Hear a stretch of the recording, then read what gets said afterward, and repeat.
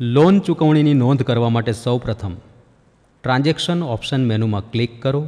ત્યારબાદ લોનની ચૂકવણી મેનુ ક્લિક કરવાથી લોન ચૂકવણીની નોંધ કરવા માટેનું ફોર્મ ખુલશે. લોનની ચૂકવણીની નોંધ કરવા માટે પહેલાં લોનનો પ્રકાર પસંદ કરો. ત્યારબાદ જે લોનનો પ્રકાર પસંદ કર્યો હશે, તે લોન જો કોઈ પણ કર્મચારીએ લીધી હશે તો તેનું લિસ્ટ કર્મચારીના નામમાં આવી જશે. જો કોઈ પણ પ્રકારની લોન કોઈ પણ કર્મચારીએ નહીં લીધેલી હોય, તો no loan amount remaining of loan type જે લોનનો પ્રકાર પસંદ કર્યો હશે તેનું નામ મેસેજ આવશે.